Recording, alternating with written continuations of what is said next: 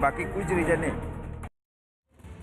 PM Modi आज शाम चार बजे लोकसभा में राष्ट्रपति के अभिभाषण पर जवाब देंगे। लोकसभा में पिछले दो दिनों से राष्ट्रपति के अभिभाषण पर चर्चा हो रही है। इससे पहले छह दिनों तक कृषि सुधारों पर विपक्ष के हंगामे से लोकसभा में चर्चा नहीं हो पाई थी। लेकिन रक्षा मंत्री राजनाथ सिंह की अपील के बाद विपक्ष राष्ट्रपति के अभिभाषण पर चर्चा के लिए राज़ी हुआ। इससे पहले पीएम मोदी ने राज्यसभा में राष्ट्रपति के अभिभाषण पर जवाब देते हुए कृषि सुधारों की चर्चा की और कहा कि एमएसपी थी, है और रहेगी। उन्होंने एक बार फिर किसानों से आंदोलन वापस लेने की अपील की और कहा कि सरकार बातचीत से ही हल निकालना चाहती है।